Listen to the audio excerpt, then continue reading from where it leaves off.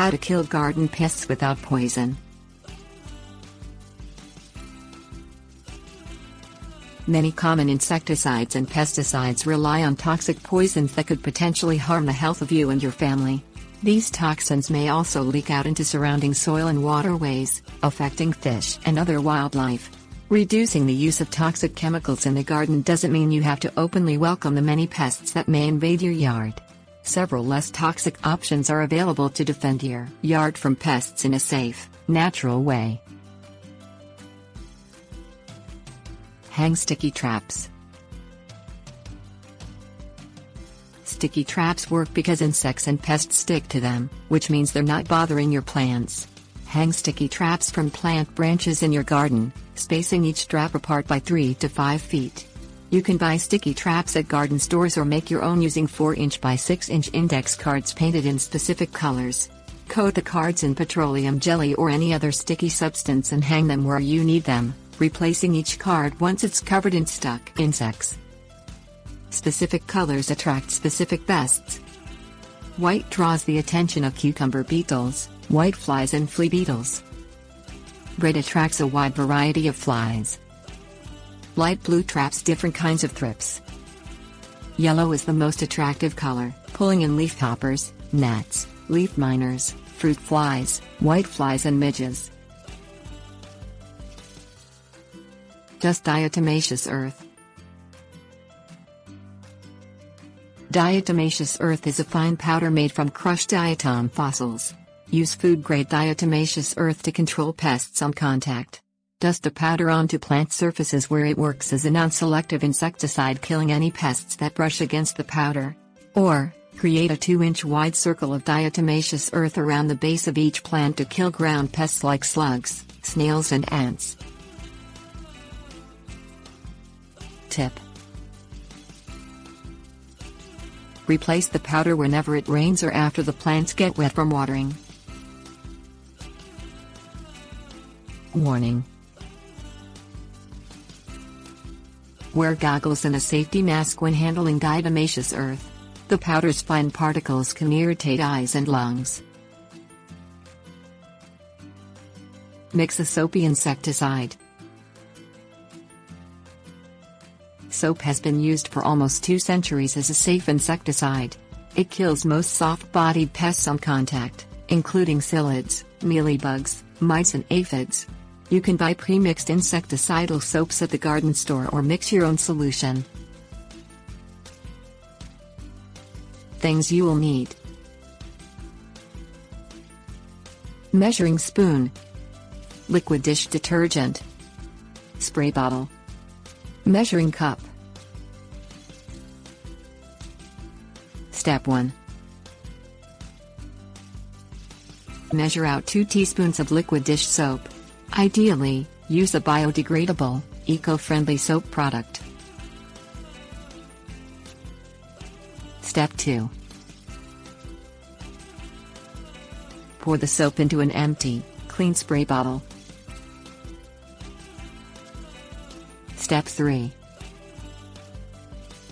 Add 1 pint of water. Step 4. Mix thoroughly. Step 5. Spritz the soap onto pests. The solution must cover the pests to be effective because it works by suffocating them. Step 6. Repeat every 7 days until the pest problem is controlled. Spray sulfur minerals. Fungal diseases can quickly kill your plants but commercial fungicides can be harsh. Sulfur is the oldest fungicide ever recorded and has been used as natural, organic disease control for more than 2,000 years. Use any garden sulfur spray or dust according to its label.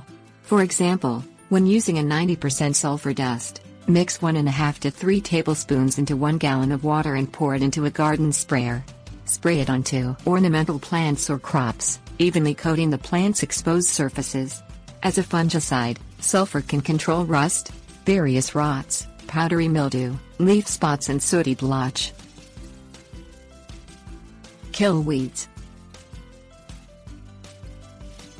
You have many options for non-toxic weed control, starting with simple hand pulling.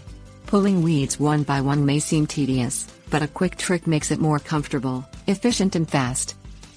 Place your hands in front of you, palms facing in toward your body. Create a rolling motion with your hands, circling them one over the other away from your body. As your outer hand moves away, down and back in toward your body, pinch and pull a weed. Repeat with your other hand, cycling your hands forward along your flower bed or row of vegetables. If pulling by hand seems too much of a chore, try boiling water. The steam and heat causes the cells in the weed to explode, killing the plant. Pour boiling water directly onto the weed, coating the entire plant. Repeat a few days later if the weed starts to regrow. Warning Avoid splashing boiling water on desirable plants. The heat will kill any plant it touches. This works best on patios, paths and driveways where you don't have other plants. Harness the sun. Soil solarization kills everything weeds, soil-borne diseases and pests. It channels the power of the sun's heat and ultraviolet rays and it's best to do it at the peak of summer. Things you will need. Mower or string trimmer. Rake. Plastic tarp. Bricks, rocks or other heavy objects. Step 1. Mow the area or pull any large weeds or plants. Step 2. Rake the area to create a level surface. Step 3. Water the site to moisten the soil to a depth of 1 foot. Step 4. Cover the site with a clear plastic tarp. Step 5. Weight down the tarp's edges with bricks, rocks or other objects. The sun will bake the soil with the soil reaching temperatures of up to 125 degrees Fahrenheit. Step 6. Remove the tarp after 6 to 8 weeks.